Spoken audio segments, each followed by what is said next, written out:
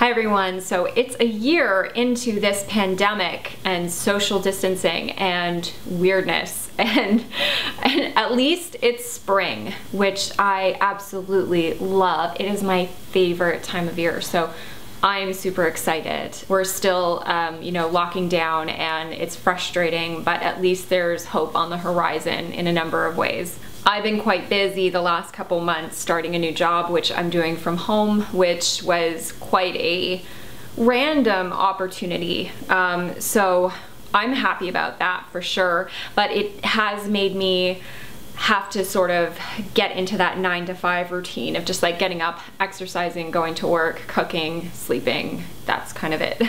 So I'm happy to be back shooting a video because I haven't done it in so long and I just absolutely love shooting videos. Today I want to talk about a very rare compression syndrome called median arcuate ligament syndrome or MALS, also known as Dunbar syndrome, celiac artery compression syndrome, or Harjola-Marable syndrome. I talked before in one of my videos, the PTSD, medical PTSD video, on having these symptoms of chronic pancreatitis with acute pancreatic attacks and exocrine pancreatic insufficiency, or EPI. And when I spoke recently to a doctor in Germany, which is where I had to go. I didn't, sorry, I didn't go to Germany, but I, I, had a video consult with this doctor. In talking with this doctor in Germany, he did tell me that he feels the chronic inflammation in my pancreas and the symptoms that I'm having of the pain, the bloating, the pain after eating, the pain with the exercise, the pancreatic insufficiency is being caused by this. I'm going to go over a couple of the symptoms that you could experience with median arcuate ligament syndrome. Keep in mind that it would vary from person to person greatly and it varies from day to day even greatly. So some of the symptoms include upper abdominal pain after eating. It's probably the biggest one. Upper abdominal fullness after eating small amounts or drinking. Distension after eating, especially in the upper abdomen. Nausea and or vomiting. Weight loss, trouble breathing and chest pains. Abdominal pain with exercise. Possibly chronic diarrhea. Varicose veins on the abdomen and lymphedema.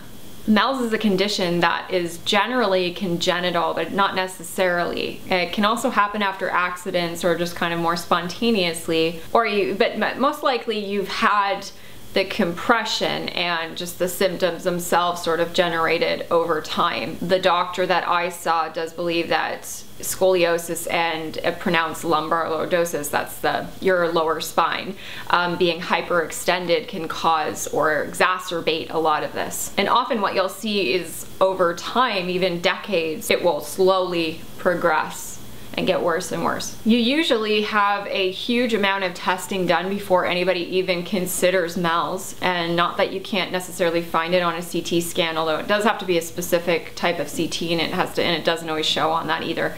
But usually people go through a huge battery of tests to come to the conclusion that maybe this is happening and even then a lot of the times it just kind of ends with psychiatric.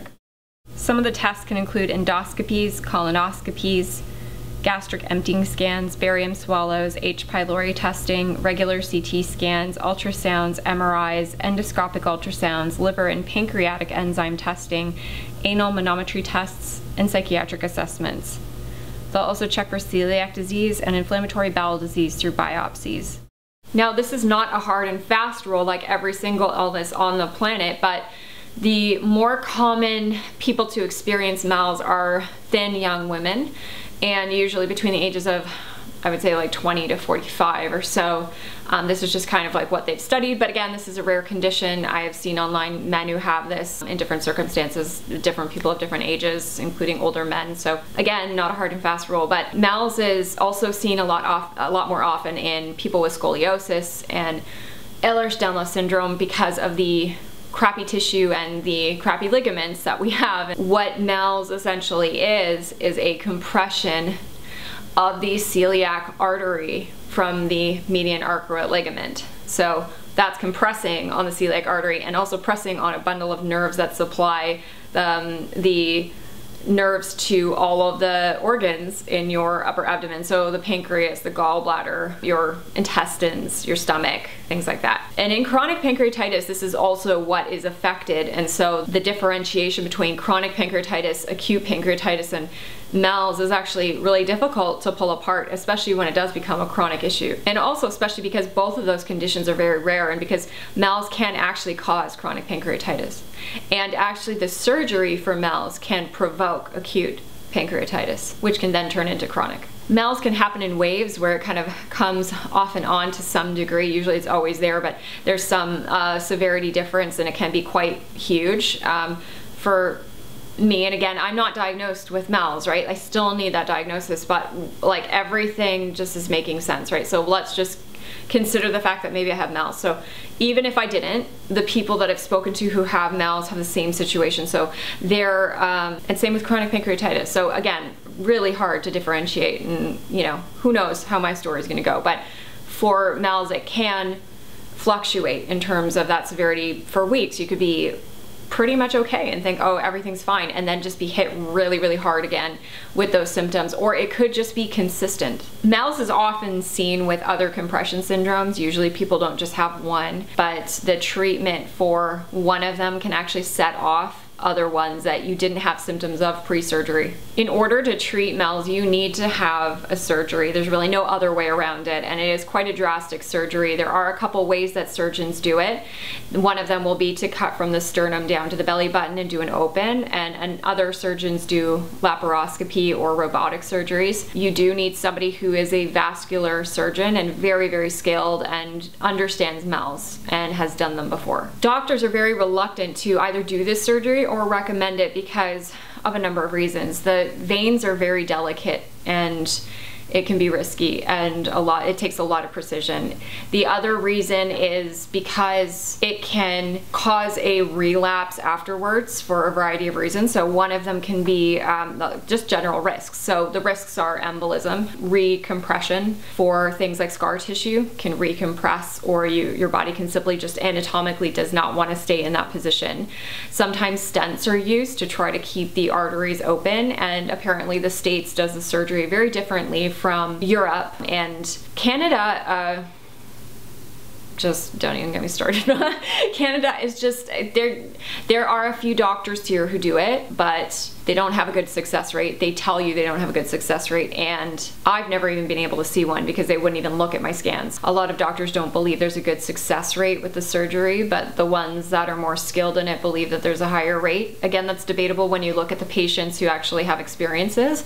They kind of, it is sort of a, not a shot in the dark, but it's definitely, you know, not a, I don't know if it's 50 50. I think it's more than a 50 50 chance of, of getting better with the right doctor, but not everyone gets better. My symptoms were a pretty slow progression, which, and I, I am talking decades, I've had symptoms off and on of this, but getting worse and worse as the years went on. So that's why one of the reasons why I feel like it's not just chronic pancreatitis or that there's something causing that chronic pancreatitis that's related to the EDS, which that was like I was racking my brain trying to figure out how the hell is this connected to the EDS. And when I talked to that doctor in Germany, it just like answered literally all my questions about every other single problem that I was having having, not just the upper abdominal pain and the nausea and the diarrhea. Like it just, it answered everything. It was like my uh, extreme period pain and the fact that it never got, it got somewhat better in some specific ways after endometriosis removal,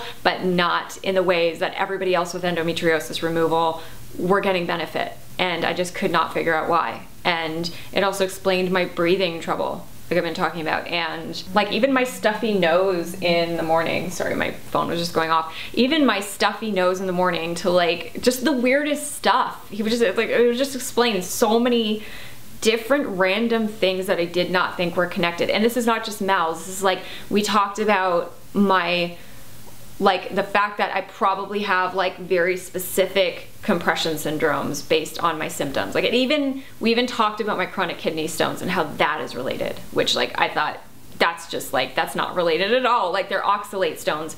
But why was I having them? Do you know what I mean? And like, I wasn't, I, I, would keep going to my nephrologist and we would keep having these discussions about like what I should eat and what I should drink. And every like few months, I do a 24 hour urine with like blood work and ultrasounds for years. Like, we've been doing this. And most of the time, he says, You're doing great. You're doing everything you can.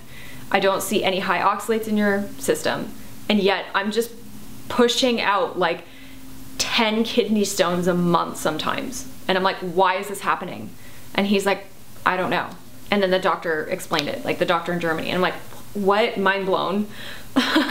so like I said in one of my other videos, my medical PTSD video, I did talk about the symptoms that I've been having. I do believe I am having chronic pancreatitis still. So that's, I just want to like put that out there that I think the symptoms are just like sort of all combining together. But I think it's coming from that MALS and the MALS symptoms are this burning pain at my where my diaphragm is. So like just under my breasts where my diaphragm is. It's like aching burning fullness like a pressure that's like constantly there especially when i eat like it's way way worse. It's like when you have a four course meal at like thanksgiving and you just you feel so awful. Like you just feel like oh my god i, I cannot eat another bite. Like i feel really bad. Like I'm so uncomfortable. That's what it feels like all the time. Even if I've just had like today, I have not eaten a lot. It's like two, three in the afternoon and I've only had like a bowl of cereal and like two homemade cookies and like I am like I'm having that Thanksgiving dinner feeling, which is just like ridiculous because that shouldn't really be happening. And it will happen if I have water even, like just anything that's going into my stomach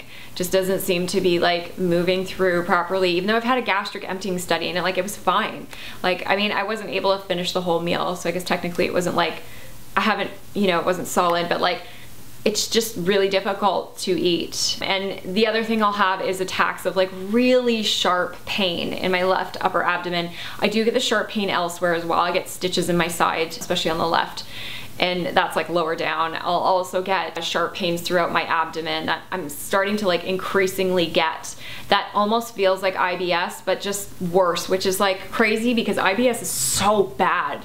Like people don't really understand how painful and debilitating IBS is. So when I say it's worse than the IBS pain I've had in my life, it's that like that's really big. So another symptom that I have is nausea and I never basically ever vomit. If my whole family gets a wicked flu and they're vomiting profusely, I will not vomit. And with this, I know that nausea, uh, nausea and vomiting, vomiting especially is a big hallmark. It is with gastroparesis as well. It is with pancreatitis. Now I did mention that there are some other compression syndromes and I'll talk about that in a minute. My next steps are gonna be to fly to Germany to get a diagnosis and then to also have a consult that I'm scheduling right now with the surgeon that the doctor who diagnoses talks to and collaborates with to do the surgery because the, the doctor that I diagnoses is not the doctor who does the vascular surgery. Um, and usually that's the case for MALS. Usually you see somebody who specializes in ultrasonography or radiology and um, they diagnose the condition and then you go to see a vascular surgeon who would do the treatment. So not an exhaustive list by any means of what compression syndromes and MALS can cause, but some of the side effects include starvation, obviously, trouble with daily activities, trouble breathing to the point of like in intubation, and then of course uh, organ dysfunction and tissue death where parts of you know some of your organs may need to be removed at some point and this is I'm talking more so with things like SMAS which like we're going to talk about in just a second. Alright so a list of the other compression syndromes. Here we go. I'll just add MALS in here because that is a compression syndrome so median arcuate ligament syndrome, lordogenic midline congestion syndrome, nutcracker syndrome or lordogenic left renal vein compression syndrome, May-Thurner syndrome, Cockett syndrome, midline congestion syndrome, pelvic congestion syndrome, and superior mesenteric artery syndrome, also known as Wilkie syndrome. So how do you get diagnosed with MALS? Well, uh, there's a few tests that they can do. One of them is a functional color Doppler ultrasound which is also great for diagnosing other compression syndromes. Another one is a CT or MRI angiogram. And another one that's kind of, yeah, I guess frequently used by some surgeons is uh, celiac plexus block. So let's talk about the treatments again. I know I mentioned that surgery was really the only way to treat it. That's true in terms of curing it, but it can be treated with also feeding tubes and ports, as well as pain medication, celiac plexus blocks, and there there's a couple physiotherapy exercises that I found. Again, this will not cure it, but I have found a few. I'm gonna link them down below. I did try them out with my physio and they were okay. If you do get surgery with somebody, make sure that you do your research on them, of course, and ask them a lot of questions. It's a pretty major surgery. That's what I'm kind of in the process of right now. Um, talk to other patients as well. Like that's always a great idea you can go online to different forums and just, you know, see if there's anybody else dealing with this and who they've seen and see if you can get any suggestions from them.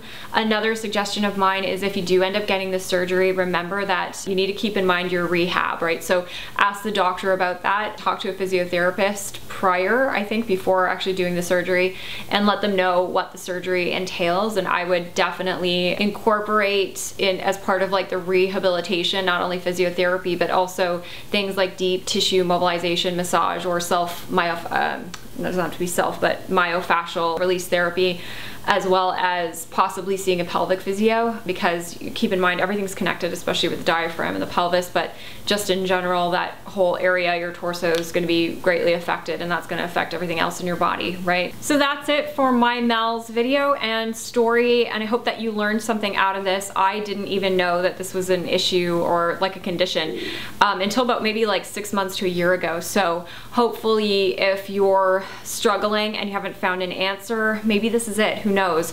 Share your story down below if you do have this compression syndrome or any other compression syndromes because the more that we talk about it, the more that it's known to the medical community eventually. Just because people start talking about it more and who knows what kind of, you know, doctors or medical students might stumble across this, right? Thank you so much for being here today, for watching my video, for making it this far. I hope that you enjoy your spring and I'll see you next time.